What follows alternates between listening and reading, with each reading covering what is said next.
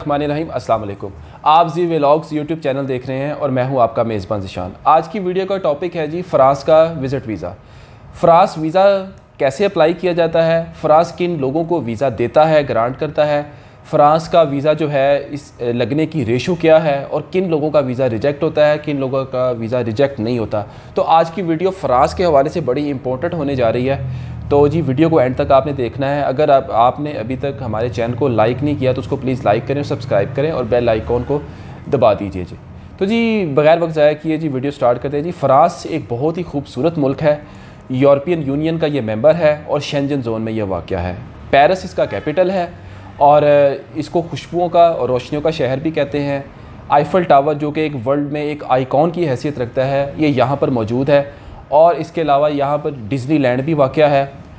जो डिज़नीलैंड है पूरे यूरोप में सिर्फ़ एक ही डिज़नीलैंड है और वो सिर्फ़ पेरिस में वाक़ है। इसके साथ साथ जो है निपोलियन बोनापार्ट निपोलियन का जो टॉम्ब है मकबरा वो भी फ्रांस के शहर पेरिस में ही वाक़ है। तो जी ये बहुत ही खूबसूरत मुल्क है। तो जी अब बात करते हैं जी इसका वीज़ा जो है कैसे अप्लाई किया जाता है और एक, और इसके मेरिट्स और डी मेरिट्स क्या हैं। मज़ीद मैं पहले ये बता दूँ कि फ़्रांस की जो आबादी है तकरीबन सत्तर मिलियन है। अच्छा जो इसका वीज़ा अप्लाई जो करने का जो तरीक़ाकार है, इसका जो है फ़्रांस जो है, इंटरव्यू लाजमी लेता है। आपने सबसे पहला काम ये करना है कि अपने डॉक्यूमेंट्स जो हैं जो अपनी अपॉइंटमेंट लेनी है एम्बेसी में और अपने डॉक्यूमेंट्स जो हैं एम्बेसी में जमा करवाने हैं। आपको एम्बेसी अपॉइंटमेंट देगी, आपने एम्बेसी में जाना है, आपने अपने डॉक्यूमेंट सारे सबमिट करवाने हैं, उधर आपका बायोमेट्रिक होगा। और क्वेश्चनिंग होगी आपसे, आपके वीज़ा से मुतलिक आपके वीज़ा एप्लीकेशन से मुतलिक जो आपने एप्लीकेशन फॉर्म में फ़िलअप किया होगा। उसके बाद वो आपका केस जो है वो जमा कर लेंगे रजिस्टर्ड कर लेंगे और आपको कहेंगे, आप जाइए। फिर उसके बाद जो है आपका डिसीज़न आने में 15 से 20 दिन लगते हैं। फ्रांस जो है बड़ा क्विक प्रोसेस करता है वीज़ा ग्रांट एप्लीकेशन का डिसीज़न करने में। तो जी, उसके बाद जो है 15 से 20 दिन में आपको रिज़ल्ट पता चल जाता है कि आपका वीज़ा लगता है, लगा है कि नहीं लगा। अगर आप डॉक्यूमेंट्स की बात करें तो जो डॉक्यूमेंट्स जो चाहिए, जो वो ऑलमोस्ट तमाम कंट्रीज़ जो शेंजन कंट्रीज़ की रिक्वायरमेंट होती है, वो सेम ही होते हैं फ्रांस की भी वही है। सबसे पहला जो मेन आपका बैंक रिक्वायरमेंट है, वो है जी bank statement minimum six month की होनी चाहिए। उसके बाद फ्रांस दो साल की आपकी इनकम टैक्स रिटर्न की जो है, वो भी रिटर्न्स भी माँगता है। इसके अलावा जो दूसरे जो मेन डॉक्यूमेंट होते हैं, जिस तरह एफआरसी है पासपोर्ट छः महीने का वैलिड होना चाहिए एप्लीकेशन फॉर्म फिल हुआ हो दो तस्वीर वगैरह जो होती है, ये, और आईडी कार्ड वगैरह, ये तो खैर आपने लगाने ही होते हैं।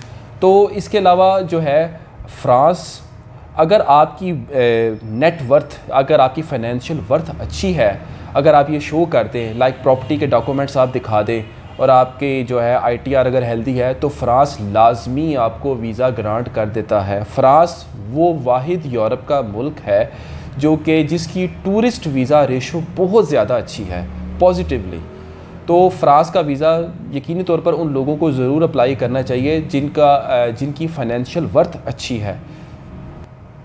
जो लोग जॉब कर, करते हैं वो और वो फ्रांस का वीज़ा अप्लाई करना चाहते हैं, उनके लिए जो सबसे मेन डॉक्यूमेंट है वो है जी आपका कंपनी का एनओसी एनओसी के बगैर आपको फ्रांस आपकी वीज़ा एप्लीकेशन को एक्सेप्ट नहीं करेगा और वो फ्रांस इस हवाले से बहुत स्ट्रिक्ट है। क्योंकि इसकी वजह ये है कि एम्बेसी शक करती है कि अगर आपने एनओसी कंपनी की तरफ़ से नहीं लगाया तो उस, इससे ये शक पैदा होता है कि आपको कंपनी की तरफ़ से छुट्टियाँ नहीं मिली।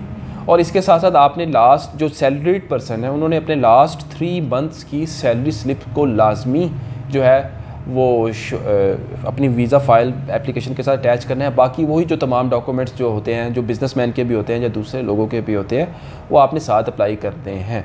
मैं, मुझे अक्सर अवकात अक्सर अवकात बहुत ज़्यादा मिडल ईस्ट से बहुत कॉल्स आती हैं। दुबई से और सऊदी अरेबिया से मुझसे लोग पूछते हैं कि जी, हम यूरोप का कौन से ऐसे कंट्री का वीज़ा अप्लाई करें जिसकी वीज़ा रेशो बहुत ज़्यादा अच्छी है? तो मैं अपने मिडल ईस्ट पाकिस्तानी भाइयों को, जो पाकिस्तानी पासपोर्ट होल्डर्स हैं जैसे जो सऊदी अरब में हैं, दुबई में हैं, मैं उनको हाईली रिकमेंड करूँगा कि आप फ्रांस का वीज़ा अप्लाई करेंगे। और जो पाकिस्तानी, जो सऊदी अरेबिया में इस वक्त मौजूद हैं, वो इस बात को इंडोर्स करेंगे कि इंडोर्स करेंगे कि सऊदी अरेबिया में फ़्रांस एम्बेसी वाद एम्बेसी है, जो पाकिस्तानियों को सबसे ज़्यादा वीज़ा ग्रांट कर रही है।